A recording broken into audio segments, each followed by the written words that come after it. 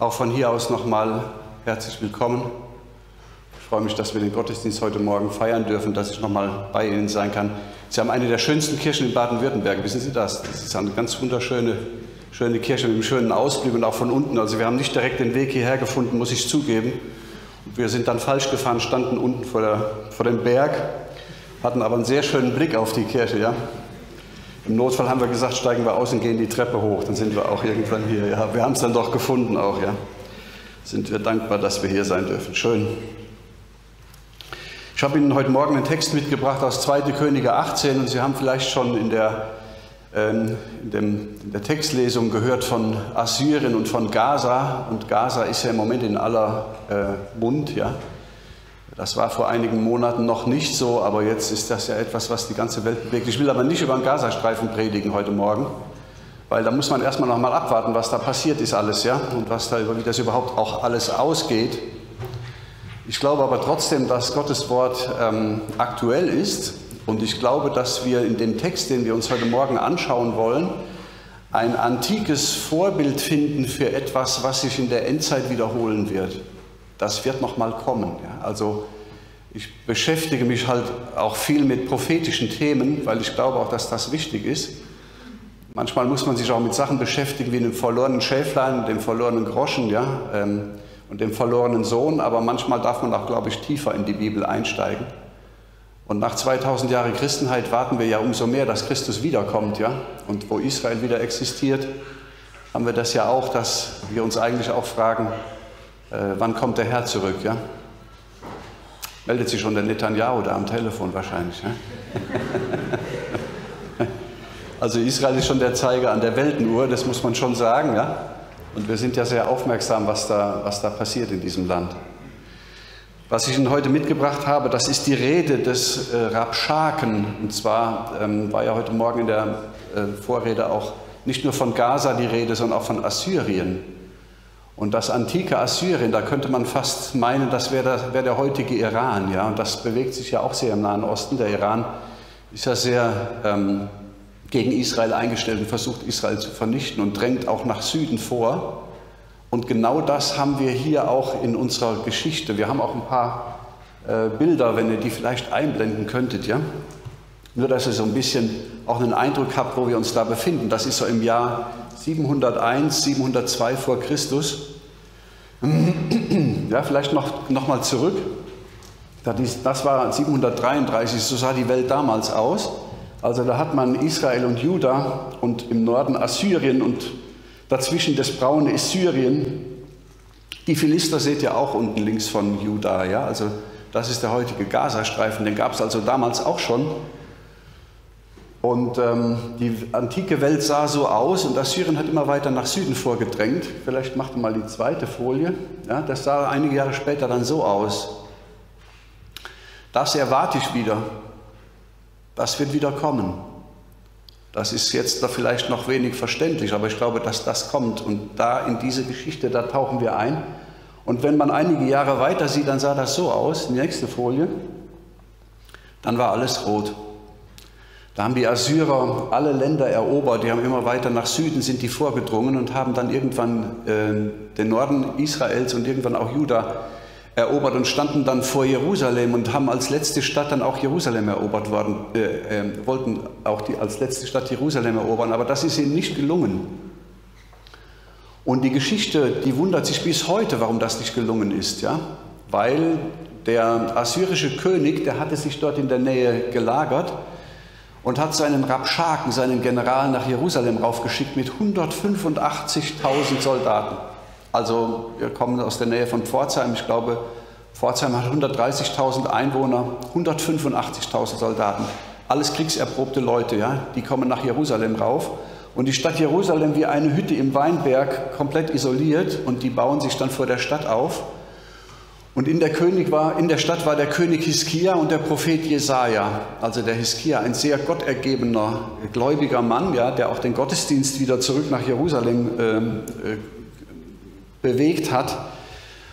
Und ähm, Jesaja, unbestritten einer der, der wichtigsten Propheten im Alten Testament. Und diese beiden Männer, die sind in äh, Jerusalem. Hiskia noch ein sehr junger König, 25 Jahre war der, als der König wurde. aber ein sehr kluger Mann. Und die werden jetzt belagert von so einer großen Armee. Und die stehen jetzt vor der, vor der Stadt. Und dann ruft der General von den Assyrern, der ruft eine Rede in die Stadt Jerusalem rein. Und das ist, um, um, die zum Aufgeben zu, zu bewegen. Der ist ja klug, der will nicht kämpfen, obwohl der eigentlich die Übermacht hat. Ist ihm natürlich lieber, die Stadt gibt einfach so auf, ohne Kampf.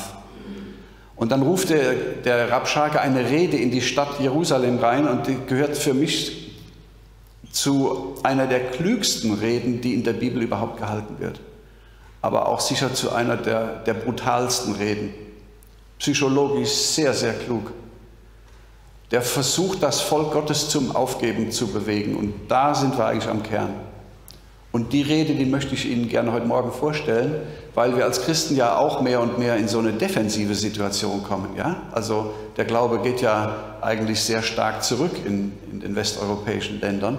Und die Christenheit hat manchmal so den Eindruck, als ob sie ganz isoliert wäre, aber wir sind nicht alleine. Ja? Und in diese Situation rein, da spricht der Rabschake seine Worte. Also ich lese mal so von Vers 17 an. 2. Könige 18 von Vers 17. Und der König von Assyrien sandte den Tartan und den Erzkämmerer und den Erzschenken von Lachis zum König Hiskia mit großer Macht gegen Jerusalem und sie zogen herauf. Und da sie hinkamen, hielten sie an der Wasserleitung des oberen Teichs, der da liegt an der Straße bei dem Acker des Waldmüllers, und riefen nach dem König. Da kam heraus zu ihnen Eliakim, der Sohn Hilkias, der Hofmeister und Sebner, der Schreiber und Joach, der Sohn Asafs, der Kanzler.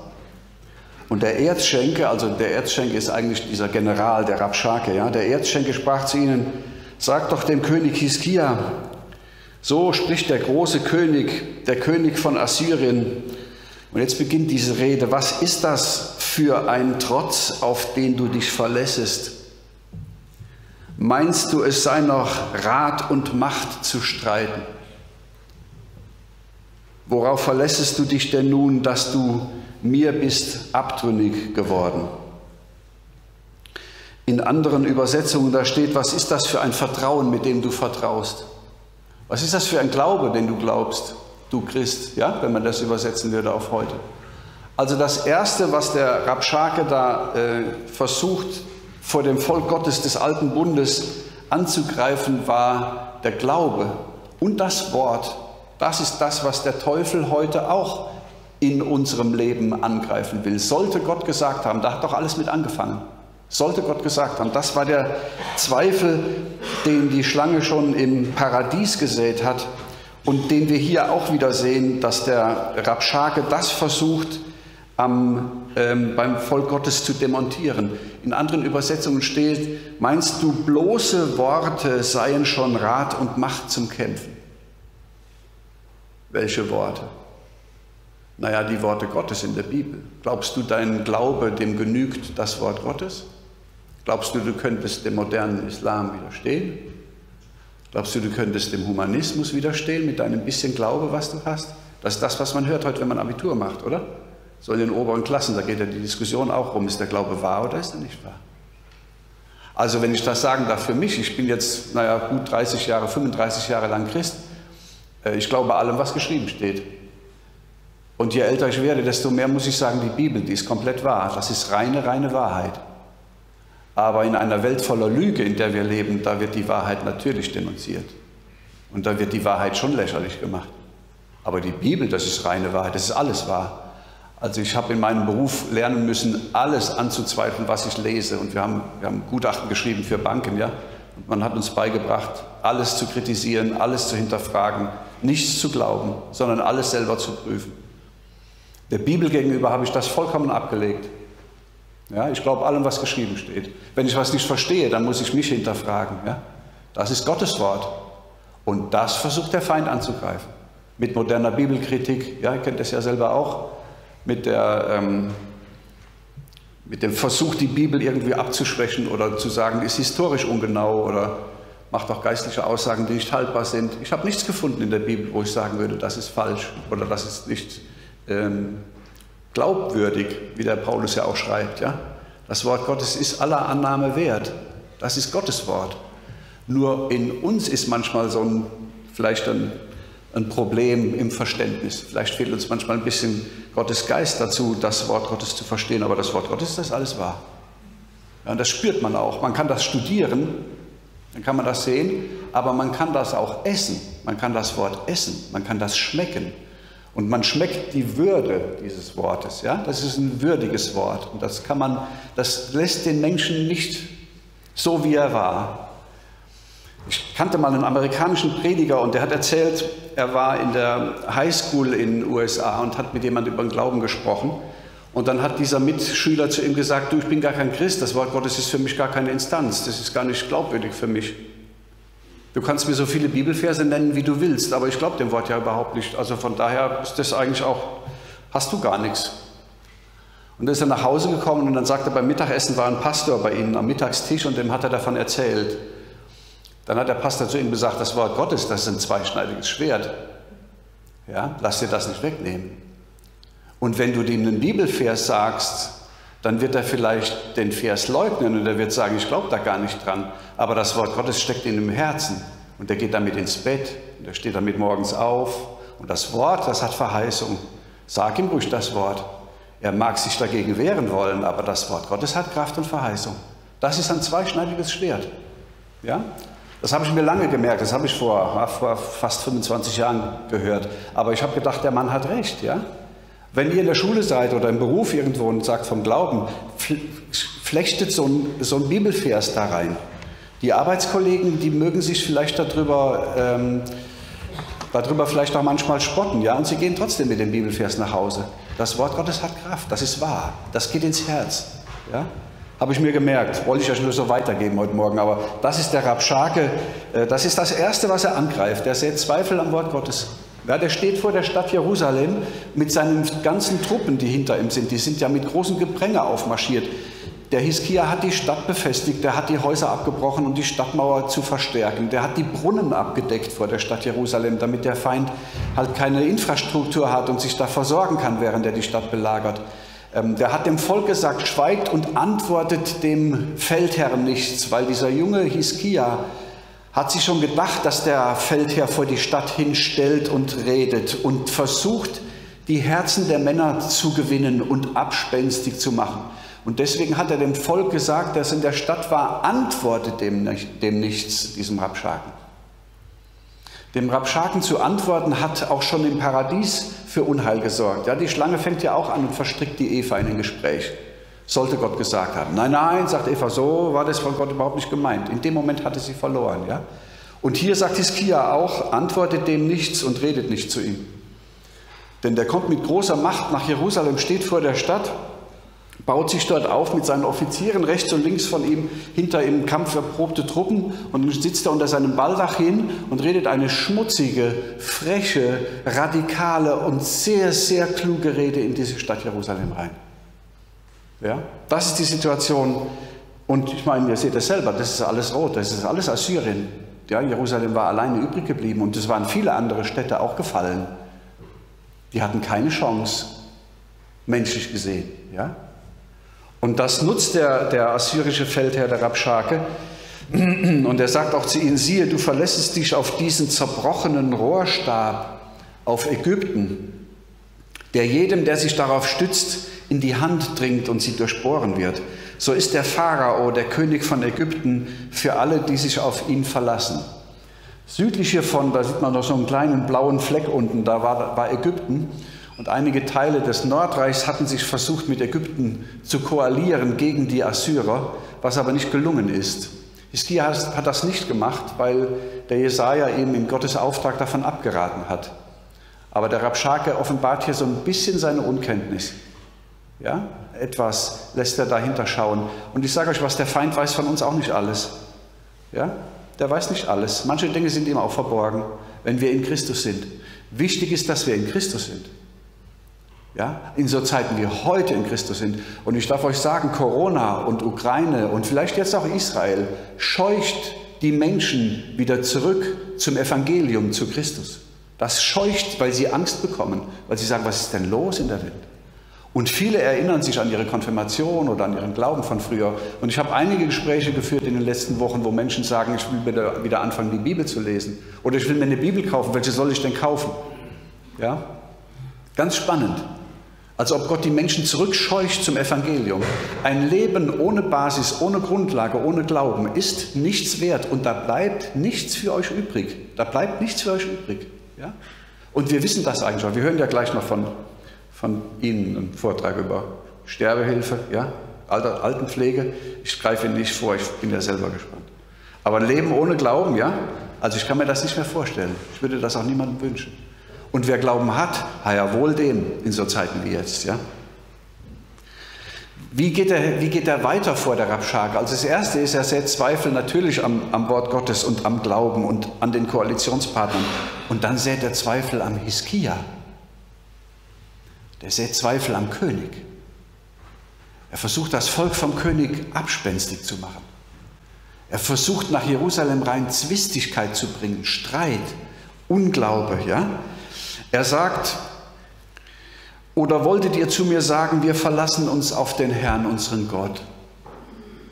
Ist er es denn nicht, dessen Höhen und Altäre Hiskia entfernt und zu Juda und zu Jerusalem gesagt hat, nur vor diesem Altar, der in Jerusalem ist, sollt ihr anbeten? Das heißt, er sät Zweifel an Hiskia und letzten Endes an Gott selbst. Ja? Der sagt ja, wenn ihr sagt, wir verlassen uns ja gar nicht auf Ägypten, sondern wir verlassen uns auf Gott. Da sagt er, der Gott, den ihr gerade beleidigt habt. Denn euer König hat ja gesagt, ihr sollt die Altäre überall abbauen und ihr sollt nur noch in Jerusalem anbeten. Ja, er verlässt sich auf diesen Volksglauben, der gedacht hat, Anbetung wäre überall möglich. Und er sagt, Hiskia hat diesen Gott doch beleidigt. Wenn er sagt, ihr verlasst euch auf Gott, den habt ihr gerade, euer Hiskia hat euren Gott beleidigt. Das ist klug, was der macht. Das ist fast so, als ob der Feind versucht, zwischen die Gemeinde und Jesus einen Keil zu treiben. Ja? So versucht der Feind einen Keil zwischen die, dieses Volk in Jerusalem und Hiskia zu treiben. Und das macht er mehrfach. Der ruft auch nachher zum offenen Aufruhr auf. Meuterei, Meuterei gegen Hiskia. So steht er vor der Stadt. Das war eine ganz gefährliche Situation für, für Jerusalem. Gott hat ihr später daraus geholfen, aber ich finde das hochspannend, wie der Feind versucht, das Volk Gottes unter Druck zu setzen, unter psychischen Druck, unter geistlichen Druck, in Streit zu verwickeln, Zwistigkeiten unter dem Volk äh, anzufachen, für seinen eigenen Vorteil. Gott lässt uns hier hinter die Kulissen schauen. Gott zieht die Kulissen weg. Wir dürfen einen Blick dahinter werfen. Warum? Damit wir klug sind. Ja? Ich sage meinen Kindern immer, ihr müsst klug sein. Dumm sind ja die anderen schon. Ja? Und wir Christen sollen auch kluge Leute sein. Spurgeon hat gesagt, ein englischer Prediger, Gott braucht nicht unsere Klugheit, aber noch weniger braucht er unsere Dummheit. Und ich glaube, da hat er recht. Gott will ja, dass wir geschult sind in geistlichen Dingen, dass wir manchmal hinter die Dinge schauen, dass wir nicht nur alles glauben, was uns präsentiert wird, sondern dass wir lernen, die Dinge zu deuten, dass wir vorsichtig sind. Die Bibel sagt ja auch, prüfet alles und das Gute behaltet. Paulus sagt, glaubt nicht einem jeden Geist, sondern prüft die Geister, ob sie aus Gott sind. Und heute sind viele Geister unterwegs. Das kann man, glaube ich, sagen. Ja? Und das Volk Gottes soll klug sein. Wir müssen uns schulen an diesem Wort Gottes. Das hat alles, was wir brauchen. Ein bloßes Wort ist schon Rat und Macht zum Krieg. Ja? Müsste man dem Rabschaken eigentlich antworten. Ja? Also er sagt, wenn ihr mir sagen wolltet, wir verlassen uns da auf den Herrn, unseren Gott, ist es denn nicht er, dessen Höhen und Altäre Hiskia entfernt hat? Euer König hat doch Gott beleidigt. Ihr seid gottlos. Gott ist nicht mehr bei euch. Gott mag euch nicht, ja? Dann fängt er an und provoziert das Volk auf der Mauer und sagt, wohl an, sagt er, nimm eine Wette an mit mir.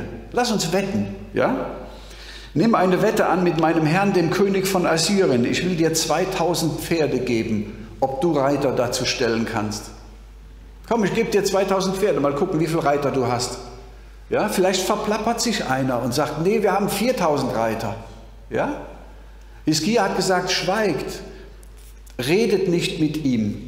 Und er, er versucht, die, merkt ihr das, wie der, wie, der, wie der versucht zu provozieren, wie, er, wie diese Rede an den Nerven der, der Männer zerrt hin und her, ja? Und nachher droht er ihnen, dann versucht er sie wieder wieder ihr Vertrauen zu gewinnen. Das ist wie, wie eine Natter, die sich um, diese, um die Männer schlingt. Ja. Das ist das, was die Bibel uns hier zeigt. Wohlan, nimm eine Wette an. Komm, lass uns wetten. Das heißt, er provoziert das Volk in der Stadt, um Informationen über die Truppenstärke der Belagerten zu, erreichen, zu, zu erlangen. Ja? Wie willst du denn zurücktreiben auch nur einen der geringsten von meines Herrn Untertanen? Der verhöhnt das Volk Gottes. Sagt, ihr seid schwach, ihr seid allein, ihr habt nichts, ihr seid nichts. Und schaut euch eure Situation doch an. Ja, das ist das, was uns heute entgegenkommt. Warum gibt uns Gott so eine Geschichte mit? Naja, weil er uns zeigen will, was passiert heute, mit welchem Geist wir zu tun haben und wogegen wir kämpfen sollen. Mit Gottes Wort, ja? Und du verlässt dich auf Ägypten um der Wagen und Gespanne willen. Also erneut offenbart er eigentlich seinen Verdacht, der aber falsch war zu der Zeit. Und dann kommt etwas ganz Erstaunliches. Jetzt sagt er nämlich, ich habe mich bei dem Lesen immer gefragt, was hätte ich denn jetzt als nächsten Punkt genommen? Wie geht man denn da vor? Ja? Jetzt kommt was Interessantes und er sagt, meinst du aber, ich sei ohne den Herrn heraufgezogen, dass ich diese Städte verderbe? Der Herr hat es mir geboten, zieh herauf in dies Land und verdirb es. Versteht er, was der tut? Der sagt, ich bin im Auftrag Gottes hier. Der Herr hat mich gesandt, nicht euren Hiskia, nicht eure verbockte Art hier. Ich bin im Auftrag Gottes hier. Das ist wohl klug. Und es reißt dann, versteht ihr, die sind übernächtig, die haben ihre Häuser abgebrochen, die haben die Stadtmauer verstärkt, die haben Verteidigungsanlagen gebaut, die, haben, die sind müde, die sind hungrig. Und jetzt steht er vor der Stadt und zerrt an denen. Das ist eine heftige Situation, ja? Paulus sagt es im Neuen Testament auch. Solche falschen Apostel und trüglichen Arbeiter verstellen sich zu Christi Aposteln. Der sagt ja auch, ich bin ihm, der Herr hat mich geschickt, Gott hat mich geschickt, ich bin im Auftrag Gottes hier, um euch zu zerstören. Ja? Und Paulus sagt im Neuen Testament, es gibt auch falsche Apostel und trügliche Arbeiter, die sich zu Christi Aposteln verstellen. Das ist auch kein Wunder, denn er selbst, der Satan, verstellt sich als Engel des Lichts. Das schreibt Paulus im Neuen Testament. Wir müssen also klug sein. Es geht um Verstellung, es geht um Mimikrie, ja? es geht um Verhüllung, wo man hinterschauen muss. Ja? Da sprach Eliakim, der Sohn Hilkias, jetzt antworten die Leute dem Rabschaken von der Mauer und Joach zum Rabschake, rede mit deinen Knechten doch auf Aramäisch, auf Syrisch, auf Assyrisch, ja? Du kannst in deiner Landessprache mit uns reden, denn wir verstehen es und reden nicht mit uns Hebräisch vor den Ohren des Volks, das auf der Mauer ist. Der sagt, um Himmels Willen, red bloß nicht Hebräisch, du machst ja das ganze Volk abspenstig von uns. Du kannst schon auf Assyrisch mit uns reden, wir verstehen dich auch so. Es war eine etwas hilfloser, ein etwas hilfloser Versuch, dieser, diesen Angriff des Rabschaken abzuwehren. Denn da packt er sofort nach, der fasst sofort zu. Ja? Ähm, der Rabschake sprach zu ihm, hat mich denn mein Herr zu deinem Herrn oder zu dir gesandt? dass ich solche Worte rede und nicht vielmehr zu den Männern auf der Mauer? Der sagt, mit euch habe ich doch gar nichts zu tun. Ich will die Männer. Ich will die Herzen der Männer. Bei euch weiß ich, dass ihr zu Hiskia steht. Ich will die Gemeinde. Ich will nicht die Vorstände, nicht die Ältesten, nicht die Presbyter. Die Gemeinde will ich. Denn da ist der Schwachpunkt. Ja? Das sagt er ganz offen. Ja? Er will die Herzen der Männer und nicht die der Führer. Das heißt aber, dass der Hebräisch kann, oder? Der kann die fromme Sprache. Der ist klug. Das ist ein böser Mann. Das ist ein schmutziger Mann. Aber ein kluger Mann. Und der kann die fromme Sprache, der kann sich verstellen. Der redet auf Hebräisch, sodass die Leute auf der Mauer sagen, rede doch mit uns in Assyrisch. Wir verstehen ja Assyrisch, aber Du machst es ja die ganzen Leute hier absprechen. Ja, das, das ist, aber der kann die fromme Sprache, der kann sich verstellen, wie der Paulus sagt.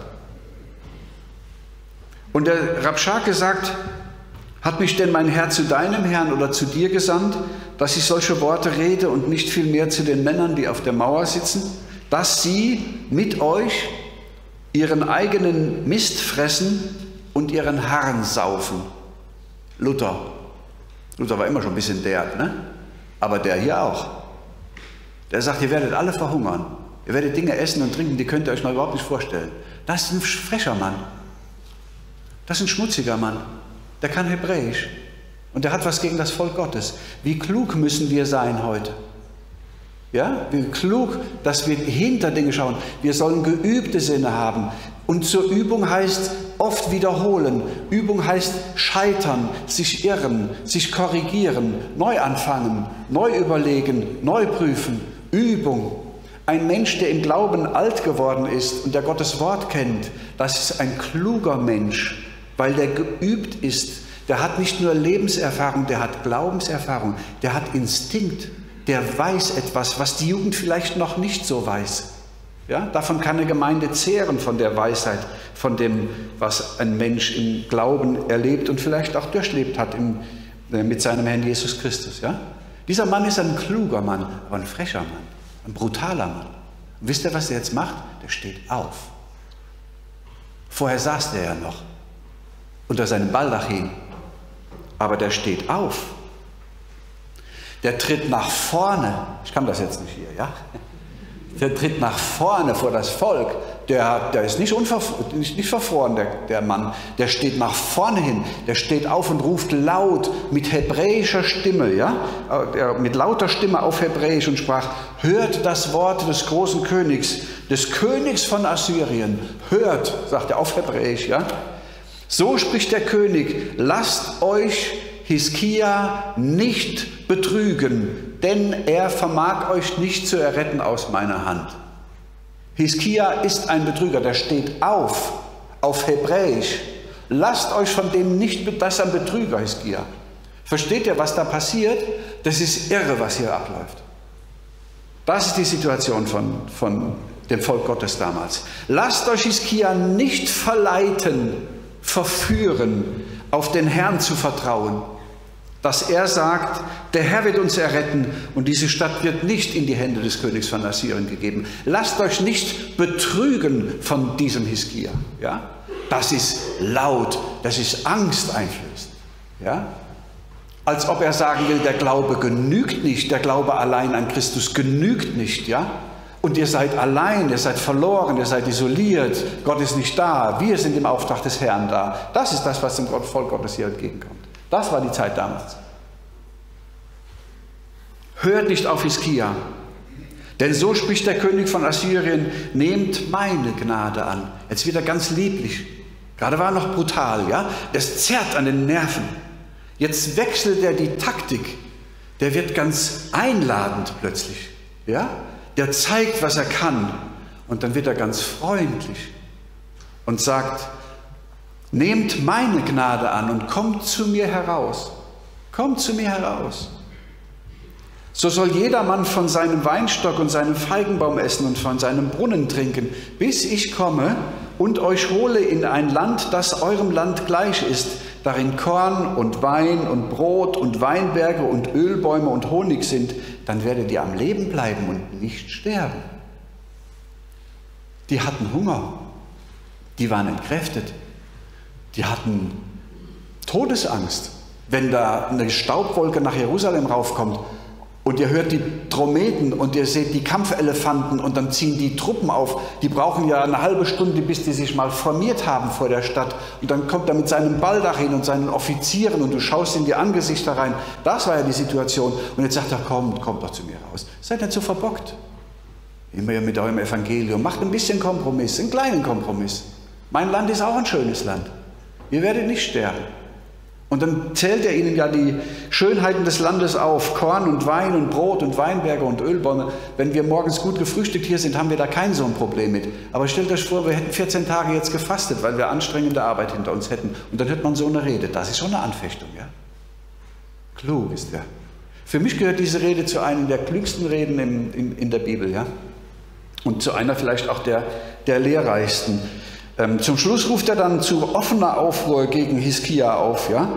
Ähm, hört nicht auf Hiskia, denn er verführt euch. Wenn er spricht, der Herr wird uns erretten. Hat auch nur einer der Götter der anderen Länder, die er schon erobert hatte, sein Land errettet aus der Hand des Königs von Assyrien? Nein. Also er appelliert an Vernunft. Er sagt, schaut euch doch um, wie das aussieht um euch rum. Alle Länder habe ich erobert. Keiner ihrer Götter hat sie gerettet. Wieso sollte denn euer Gott euch retten? Vernunftsgründe, Logik, ja, Verstand. Wo sind die Götter von Hamad und Arpad? Wo sind die Götter von Sepharvaim, Hena und Ava? Haben sie Samaria errettet aus meiner Hand? Nein. Und euch wird auch niemand retten, sagt er.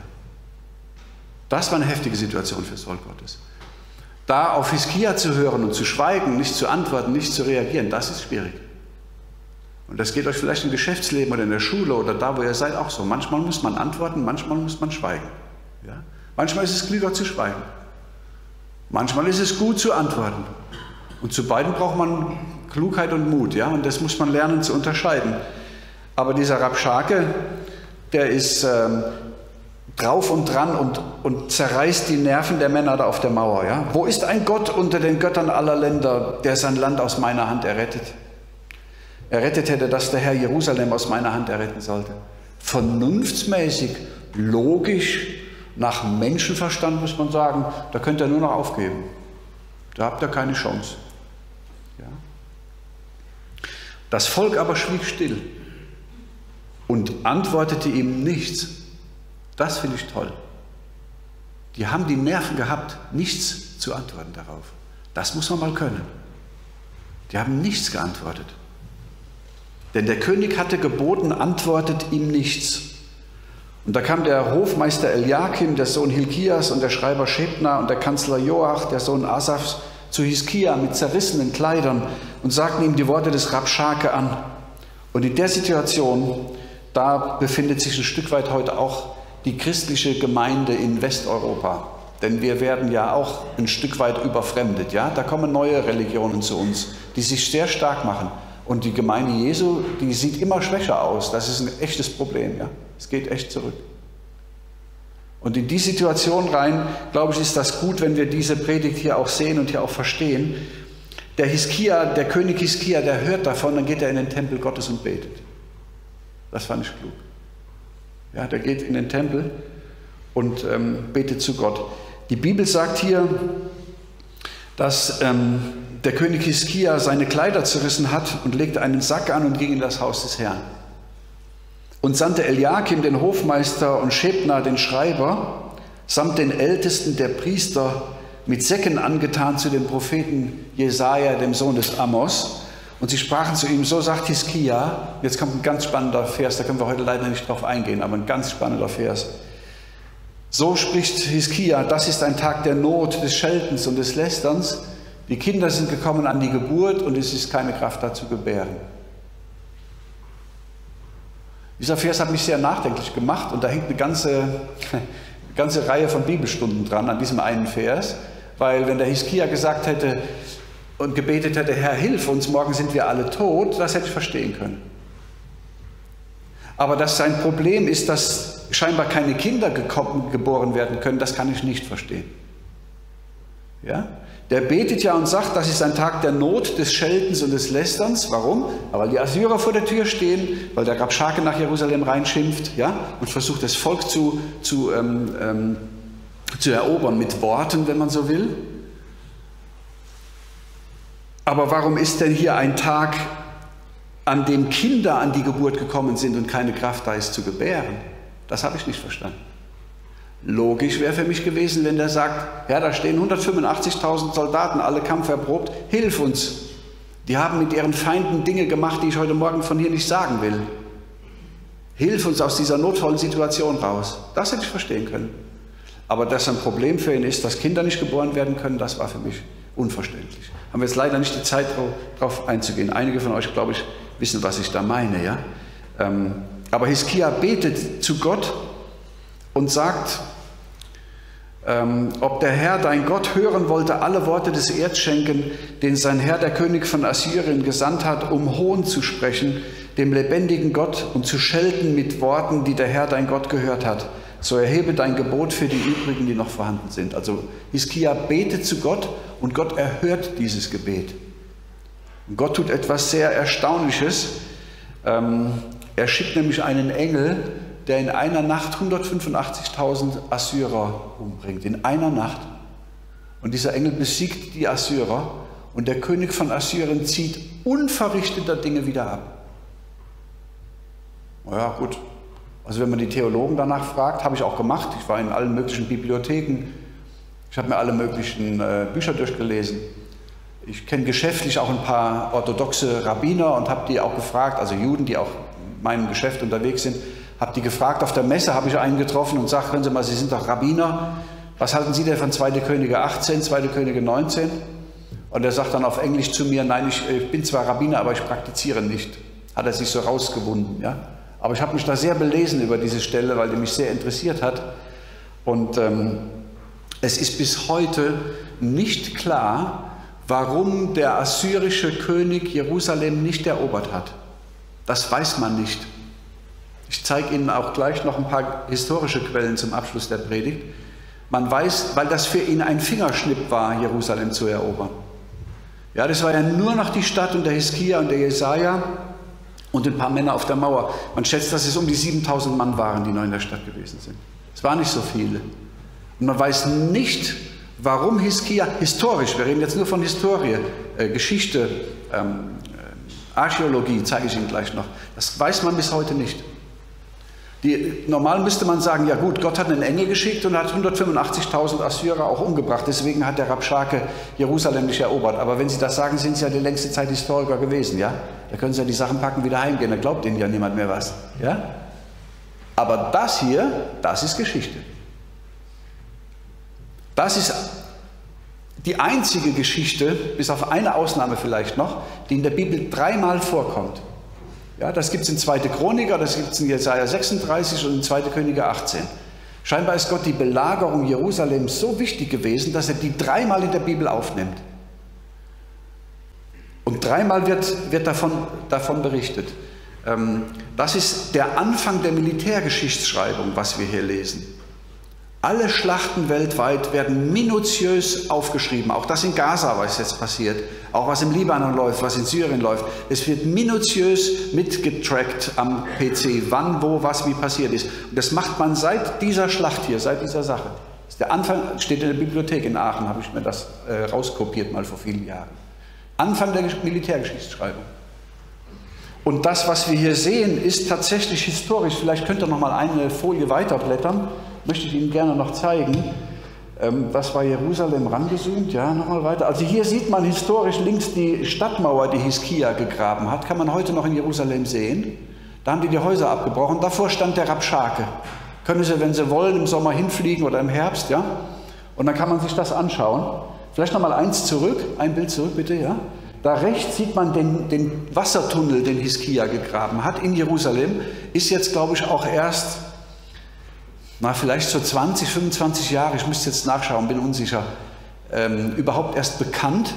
Also man hat den erst jüngst gefunden. Und das ist der, der Wassertunnel, den Hiskia gegraben hat, um die Stadt Jerusalem unterirdisch mit Wasser zu versorgen. Im Zusammenhang mit der Schlacht, wo wir gerade von gelesen haben. Das, das ist historisch, ja? Das ist nicht irgendwo eine Geschichte, die man aus dem Poesiealbum irgendwo hat. Das ist Gottes Wort. Ja? Okay, wenn man mal weitermacht. Ja, das ist eine Zeichnung aus einer alten Lutherbibel. Der Engel Gottes schlägt Sanherib und sein Heer, 185.000 Soldaten in einer Schlacht. Der Engel des Herrn ist auch ein Bild auf Christus, ja. Kommen wir jetzt, haben wir leider keine Zeit, müssen wir heute Abend sich wieder treffen, ja. Dass man noch ein bisschen tiefer graben kann. Da ist viel Fleisch am Knochen, da wäre noch viel mehr zu sehen, ja. Ich kann es jetzt leider nur so andeuten. Ja, wenn man noch einmal, einmal weitermacht, das ist das Sanherib. Das ist der Chef vom Rabschaken. Das ist ein Abdruck, den hat man dort gemacht ein Abguss eines Felsreliefs von Sanherib am Fuße des Kudidagi in der Nähe von Zisre. Ja? Habe ich auch gleich mal rauskopiert. Können wir vielleicht noch mal eine Folie weitermachen? Ja, das ist so die Lage da zwischen Türkei, Syrien und Irak, da, an dem, da wo dieser rote Punkt ist, da hat man diesen Abguss gemacht. Und das, was wir gelesen haben mit Assyrien, dass Assyrien nach Süden vordringt und Syrien und Israel angreift, das haben wir ja heute wieder, oder? Wäre es vielleicht mal wert, das, was wir heute sehen, mal mit der Historie der Bibel abzugleichen? Wäre das mal eine Bibelstunde wert? Das glaube ich schon. Das wird wieder kommen. Wir werden meiner Überzeugung nach werden wir Zeiten bekommen, die biblisch sind. Und wo die, die ihre Bibel kennen, sagen, hier entstehen ja Strukturen, wie sie die Bibel kennt. Ja? Syrien, Israel, Ägypten, Irak, die sind alle 75 Jahre alt ungefähr. Das sind alles Nachkriegsgewächse. Das, wir haben heute eine geopolitische Struktur im Nahen Osten, die wir früher schon einmal hatten. Und die ist nach dem Krieg, plopp, plötzlich war die da. Das ist interessant. Das hat es 2000 Jahre nicht gegeben. Da wird sich was wiederholen. Ja? Aber das war jetzt mal der Sanherib, ein Abguss von ihm. Ja? Nochmal eins weiter bitte. Ja, das können wir überspringen. Das ist das Sanherib-Prisma. Und auf diesem Prisma steht, ich versuche das vorzulesen, das sind zwei assyrische Tonprismen, die in die Regierungszeit des assyrischen Königs Sanherib datieren. Sie berichten von Ereignissen aus den Jahren 701 und so weiter und sind wichtige Zeugnisse für die jüdische Geschichte, da hier die Belagerung Jerusalems während der Herrschaft des Königs Hiskia beschrieben wird, die auch in der Bibel bezeugt ist. Ach, da ist ja hier Bibelstunde auf dem Tonprisma. Ich habe ihn ja jetzt nur aus der Bibel vorgelesen. Jetzt machen wir ein bisschen Historie. Das ist verbürgt. Jetzt frage ich Sie mal einfach, glauben Sie eher dem oder glauben Sie eher dem? Ja? Das ist ja eine Frage. Also ich für meinen Teil glaube lieber der Bibel. Aber ich finde das auch hier. Es gibt aber Leute, die finden das hier und sagen, ach, das steht ja auch in der Bibel. Ja? Das gibt es halt auch. Aber ich mache es umgekehrt. Ja? Die unterschiedlichen Blickwinkel der Gegner zeigen sich im Vergleich der Prismentexte mit den Stellen bei Jesaja 37 und im zweiten Buch der Könige 18 und 19, haben wir gelesen gerade. Die, diese Prisma bezieht sich auf unseren Bibeltext heute Morgen. Ja? Und vielleicht noch einmal weiter, ich glaube, ich habe noch eine Folie, ja genau. Da steht nämlich was ganz Spannendes drauf auf diesem Prisma, deswegen zeige ich Ihnen das, dann kommen wir zum Schluss. Sanherib schreibt, ihn selbst, Hiskia, so schreibt der Sanherib jetzt auf diesem Prisma, ihn selbst, den Hiskia, schloss ich gleich einem Käfigvogel in seiner Residenz Jerusalem ein. Dann berichtet er, also der, der Sanherib, dass er Erddämme gegen ihn aufwarf und die eroberten Städte von seinem Land abtrennte die Furcht vor seiner Macht warf nach Sanherib, so wie Sanherib sagt, Hiskia zu Boden. Es folgt die Mitteilung, dass Hiskia durch einen Gesandten seine Unterwerfung anzeigte. Dann wird der Tribut, den er leistete, ausführlich aufgezählt. Und damit schließt der Assyrerkönig seinen Heeresbericht über diesen Feldzug. Was ist denn hier besonders dran? Hier steht nicht, dass Sanherib Jerusalem erobert hätte. Das ist so erstaunlich. Hier steht nur, dass der Sanherib schreibt, dass er Hiskia eingeschlossen hat wie einen Vogel im Käfig in seiner Residenzstadt. Mehr steht da nicht. In anderen Berichten steht, wie er mit seinen Feinden umgegangen ist, und das möchte ich jetzt nicht formulieren von hier vorne. Da schläft man schlecht nach. Das stand eigentlich dem Hiskia bevor. Aber in Bezug auf Jerusalem steht auf diesem Prisma von Sanherib, dass er Jerusalem nicht erobert hat. Und die Historiker, die rätseln, warum das der Fall ist. Und die Antwort darauf ist ja, gut, da ist ja ein Engel nachts gekommen. Ja, das verschweigen die Historiker aber, weil dann glaubt denen ja niemand mehr und dann sagen wir, er ist verrückt geworden. Aber das sagt die Schrift. Ich will Ihnen nur eins zeigen damit, die Bibel ist zuverlässig in dem, was sie sagt. Ja? Und es tut mir leid, dass ich das mit so einem Prisma sagen muss. Ich will Ihnen das gerne innerhalb der Bibel zeigen. Ja? Denn bevor etwas irrt, irrt das und nicht das Wort Gottes. Das sagt Jesus. Ja? Der sagt ja, eher werden Himmel und Erde vergehen, als dass ein Jota vom Gesetz hinfallen würde. Das sagt Christus. Und das ist und das glaube ich auch. Da kann man sich drauf verlassen. Wollte nur das zeigen, weil ich das spannend finde, weil das den Bibeltext so ein bisschen ergänzt auch. Es, dieses Wort Gottes ist aller Annahme wert. Und in der ausgehenden Christenheit, da mögen wir als Christen auch solche Anfeindungen erleben, wie so ein Rabschake vielleicht. Und vielleicht fühlen wir uns manchmal in unseren Gemeinden oder Kirchen auch isoliert und schwach und einsam. Dann sollen wir uns hier dran erinnern, Gott ist bei uns, Christus ist bei uns. Und zwar bis zum Ende. Ja? Das hat er ja zugesagt. Und dann soll wohl die Stadt Gottes einmal fein lustig bleiben. Gott ist in ihr drinnen, steht in dem Psalmen. Ja? Und ich wünsche Ihnen für Ihr Glaubensleben recht viel Glaubenstrotz. Den brauchen Sie nämlich. Ja? Und recht viel Glaubensmut und vielleicht ein bisschen Unverfrorenheit wie der Rabschake auch. Wenn Sie im Geschäft gefragt werden, geben Sie mutig Zeugnis vom Glauben. Und wenn Sie hinterfragt werden, fragen Sie doch mal zurück. Das, wer fragt, ist immer im Vorteil. Ja? Also ich habe einen Arbeitskollegen gehabt, ich habe bei einer Bank gearbeitet, damit schließe ich dann. Und äh, wir waren im Großraumbüro und ähm, er hat mich dann wegen meinem Glauben gefragt und dann hat sich so ein Glaubensgespräch da entsponnen. Er war ein bisschen spöttisch und meine Kollegen hatten alle große Ohren auch und dann äh, sagt er, gut, wer glaubt dann an die Bibel heute noch? Das ist ja ein altes Buch, ja. Und dann habe ich einfach zurückgefragt und gesagt, weißt du denn überhaupt, was im Epheserbrief steht? Hm, nö, sagt er. Sag ich, weißt du denn, was im Römerbrief steht? Na, natürlich weiß ich nicht, was im Römerbrief steht. Das kennst du denn die fünf Hauptthesen im Kolosserbrief? Nee. Sag ich, genau, die gibt es nämlich gar nicht. Ja? Sag ich, du kennst die Bibel überhaupt nicht und du spottest über die Bibel. Wie dumm ist das denn? Ja? Würdest du auch über das Grundgesetz oder über das BGB spotten, ohne das BGB zu kennen? Du hast doch gar keine Ahnung. Du kannst mal zu mir kommen, dann können wir uns in Ruhe unterhalten. Was haben denn Adam und Eva im Paradies gegessen? Einen Apfel. Sag ich auch falsch, ja? Fragen Sie mal zurück, legen Sie sich ein paar Antworten bereit und seien Sie mal wohl zuversichtlich da, da, darüber, dass die Bibel Gottes Wort ist. Das wird uns durchtragen bis zum Schluss. Dieses Wort ist Rat und Macht zum Krieg. Das ist so. Ja. Amen.